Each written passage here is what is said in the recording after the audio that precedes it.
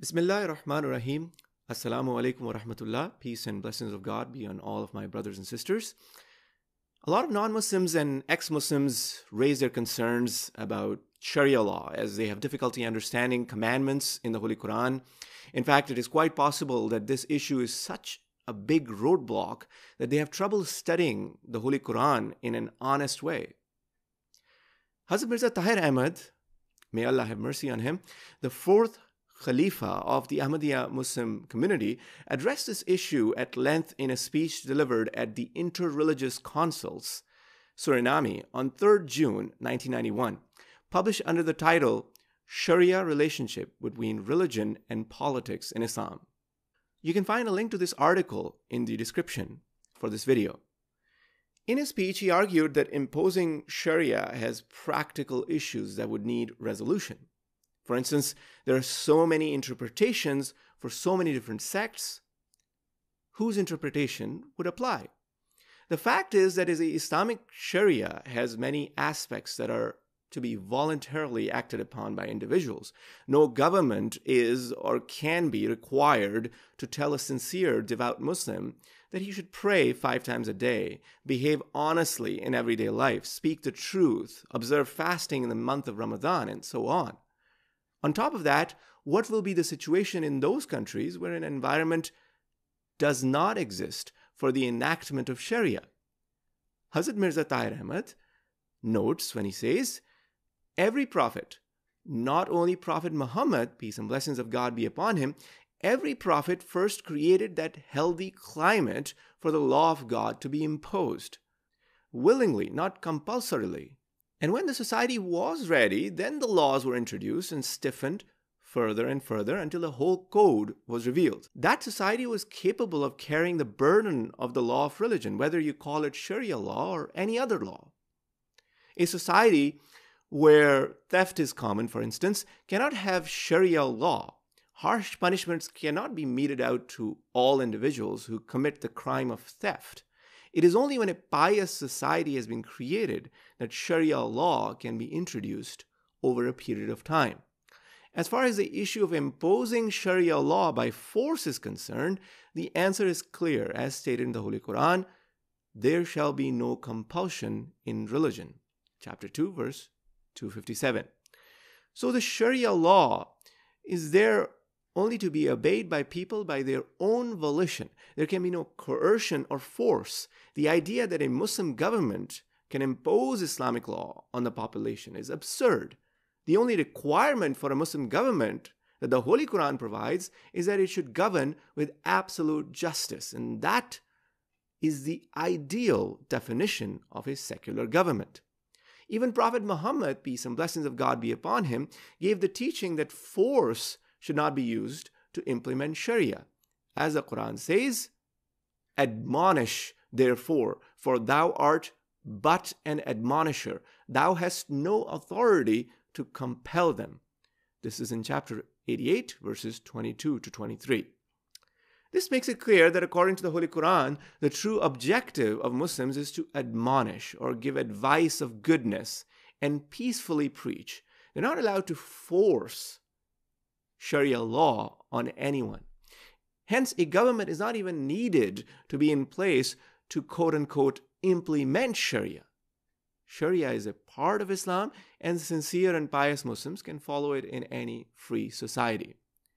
Hazrat Mirza Tahir Ahmad, may Allah have mercy on him, has also noted that the reality is that Islam advocates a secular form of government more than any other religion. The very core of secularism is that absolute justice is practiced. And this is exactly what the Holy Quran advocates, as it says, Allah orders you to always practice justice. Chapter 16, verse 91. It also says, no amount of enmity between you and any other people should permit you to deviate from absolute justice. Be always just, that is nearer to righteousness. Chapter 5, verse 9. So, according to the Holy Quran, a Muslim government is one which decides its affairs based on the principles of justice and does not permit decisions to be biased due to religion, creed, caste, or sex. This also nullifies the allegation of an Islamic Sharia law that can be imposed on non Muslim citizens of a country. If absolute justice is a central theme of government, how could Islamic law be imposed on non Muslims? This is the example we see in practice in the life of Prophet Muhammad, peace and blessings of God be upon him, when he migrated to Medina and all communities unanimously accepted him as their leader. They agreed to make a recourse to him for all their disputes and trust his superior judgment to resolve all the contentions between various parties in accordance with their own religious principles as agreed to in the Treaty of Medina. The Islamic law had been revealed at that time. When the Jews came to him for decisions, without exception, every time he inquired from them, Would you like your dispute to be settled according to the Jewish law or Islamic law or through arbitration? Prophet Muhammad, peace and blessings of God be upon him, never imposed Islamic law on a non agreeing party which did not belong to the faith of Islam.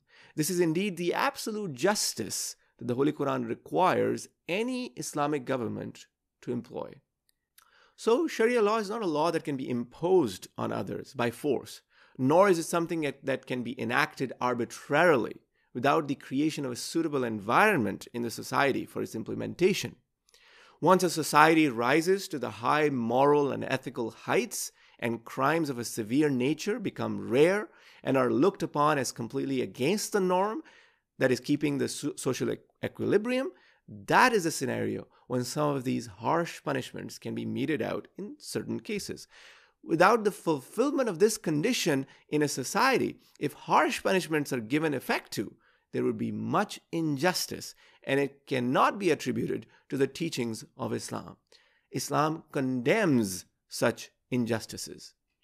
It is in the context of having created such a society that the Prophet Muhammad peace and blessings of God be upon him, is reported to have said, The world is a prison for the believer and a paradise for the disbeliever. This is not a reference to a prison made out, out of coercion. On the contrary, this is a metaphorical prison of self restraint and piety that is self imposed by a devout Muslim on his or her own self to keep away from all immoral, illegal, and unethical acts. If a society of such individuals had not been created, then the strict punishments would not and must not be meted out. At the same time, it would be extremely rare to find individuals deserving of such a harsh punishment in such a society. We see examples of this from the time of Prophet Muhammad, peace and blessings of God be upon him. During his time, more often than not, those people who received strict punishments themselves came forward and told him that they have committed such crimes and asked for their punishment in this world so as to absolve themselves in this world and to be forgiven in the hereafter. In an ideally reformed society, not only would it be next to impossible to find individuals who deserve the strictest punishments, but crime itself would almost disappear from a, such a society. If a law appears to be barbaric, but the harsh punishments meted out are so few and far between, with the ultimate result that the public at large are saved from daily harassments of criminals, then this law is actually beneficial.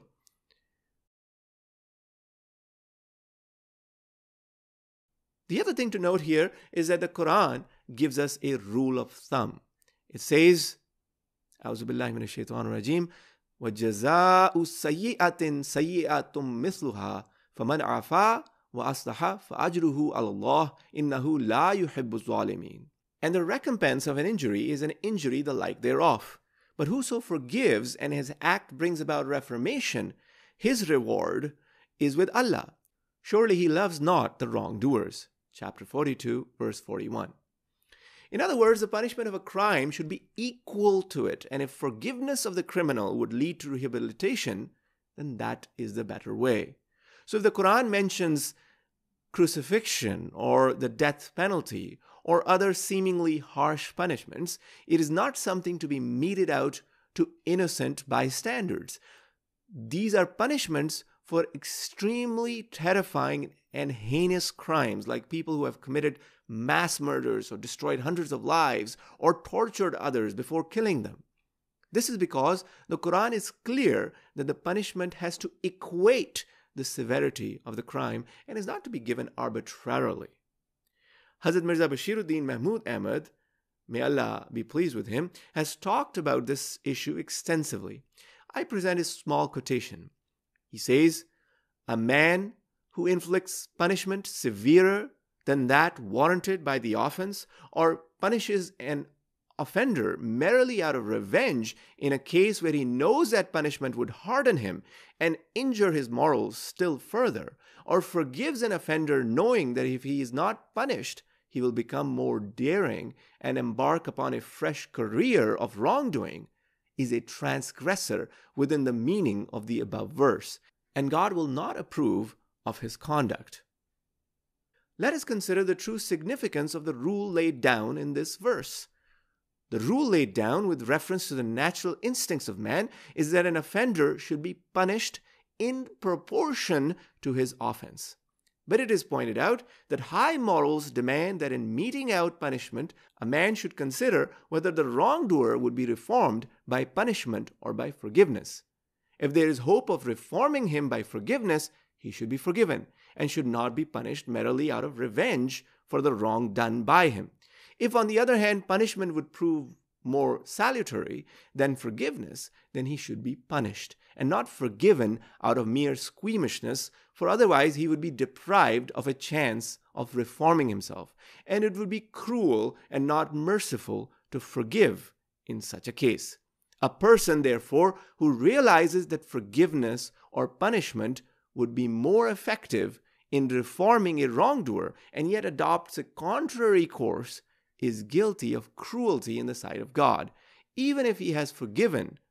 For forgiveness in such a case amounts to intentional injury to another person's morals. If you are interested in researching this topic more, I have added some links in the description for further research. Thank you.